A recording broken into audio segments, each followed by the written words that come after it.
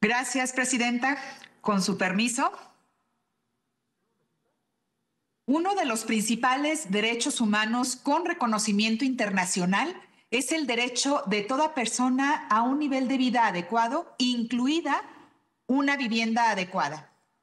Y la vivienda adecuada fue reconocida en la Declaración Universal de Derechos Humanos de 1948 y en el Pacto Internacional de Derechos Económicos, Sociales y Culturales de 1966.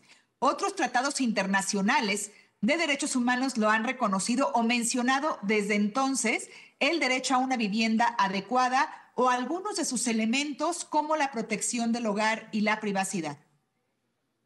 En nuestro país, el artículo cuarto constitucional establece que toda familia tiene derecho a disfrutar de vivienda digna y decorosa. La ley establecerá los instrumentos y apoyos necesarios a fin de garantizar y alcanzar tal objetivo.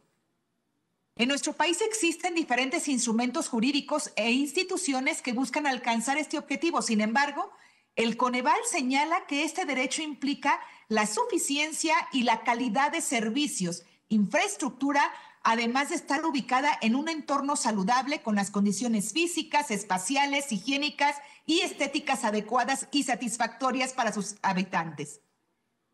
Para efectos de esta iniciativa, se hace énfasis en la característica que debe de cumplir toda vivienda en, en materia de entorno saludable, pues esto implica un medio ambiente sano, con lo cual debe existir una conciliación entre dos derechos humanos fundamentales, el de la vivienda y el de un medio ambiente sano. La Ley General de Equilibrio Ecológico y la Protección al Ambiente define el, el ambiente sano como el conjunto de elementos naturales y artificiales o inducidos por el hombre que hacen posible la existencia y desarrollo de los seres humanos y demás organismos vivos que interactúan en un espacio y tiempo determinados. Asimismo, el propio artículo cuarto constitucional refiere el derecho a un medio ambiente sano para el desarrollo y el bienestar que a la letra dice, toda persona tiene derecho a un medio ambiente sano para su desarrollo y bienestar el Estado garantizará el respeto a este derecho. El daño y deterioro ambiental generará responsabilidad para quien lo provoque en términos de lo dispuesto por la ley. La conciliación entonces entre estos dos derechos humanos fundamentales y es necesario y obligatorio, pues no puede haber vivienda digna sin un entorno saludable y no puede existir un entorno saludable si no se incluyen mecanismos de cuidado y protección del medio ambiente con instrumentos de sustentabilidad en las viviendas que no solo se aprovechen los recursos naturales renovables y limpios, sino que también le añadiría un aspecto formativo y de concientización de las personas respecto a la sustentabilidad desde el hogar. La contaminación del aire urbano ha estado dominado por los compuestos orgánicos volátiles, que son contaminantes del aire y cuando se mezclan con óxidos de nitrógeno reaccionan para formar ozono.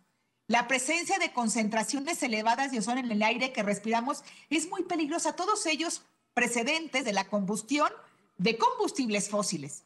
Estudios han demostrado que esta contaminación ha ido descendiendo hasta un 8% con la instalación de sistemas de sustentabilidad en las viviendas. Acciones como esta se hacen necesarias e indispensables pues los niveles de contaminación en muchas regiones del país y más en los últimos meses ha ido incrementando exponencialmente por el uso de combustibles fósiles en actividades donde prácticamente ya se habían ya habían sido sustituidos. Prueba de ello es la decisión del gobierno federal para usar combustóleo este, en la generación de energía eléctrica, sustituyendo otro tipo de combustible como el gas natural cuando el combustóleo es un subproducto del proceso de refinación del petróleo que se caracteriza por su alto índice de azufre. Existe ya una norma oficial mexicana que señala el límite máximo de exposiciones a una hora para el dióxido de azufre, que es de 75 partículas por billón, pues se han tenido registros de 251 partículas por billón en toda la región cercana alrededor de la termoeléctrica de Salamanca en Guanajuato.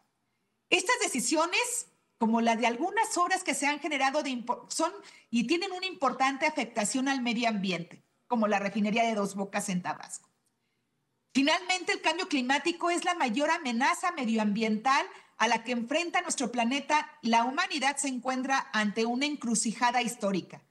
Por lo anteriormente expuesto, es que presento esta iniciativa y espero sea respaldada por las y los senadores de esta soberanía, porque es importante establecer para una vivienda digna y para un medio ambiente sano que se puedan dotar de los incentivos para que todas las viviendas tengan los mecanismos para el uso de energías limpias y aprovechar la naturaleza, aprovechar el sol para poder convivir con un medio ambiente sano. Es cuanto, Presidenta.